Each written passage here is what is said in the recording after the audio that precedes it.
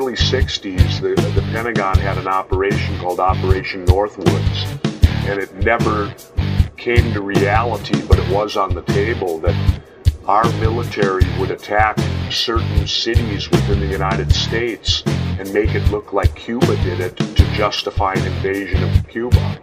It never happened, but just the simple fact that they contemplated it and it was actually on the table in the Pentagon, I find that just very disturbing.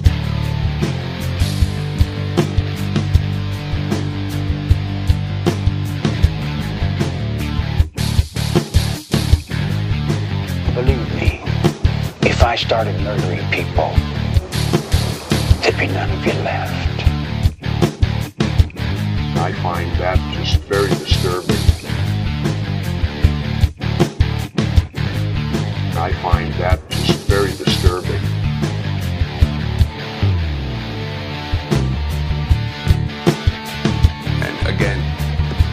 City, over neighborhoods.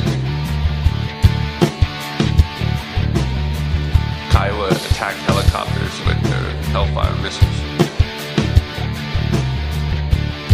F-18s dropping bombs that would shake you to the bone.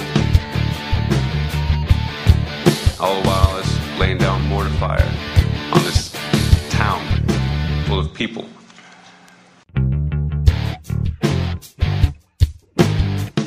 Was there was no real structure there, no police, no authority except for us, and we took full advantage of that.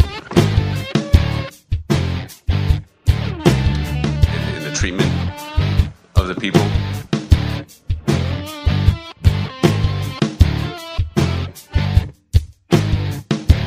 Flies were so heavy you couldn't eat when the sun was up. Take have a, eat a mouthful of flies.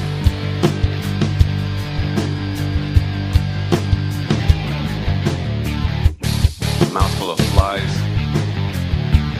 Mouthful of flies. Believe me, if I started murdering people, there'd be none of you left. Mouthful of flies. Of flies.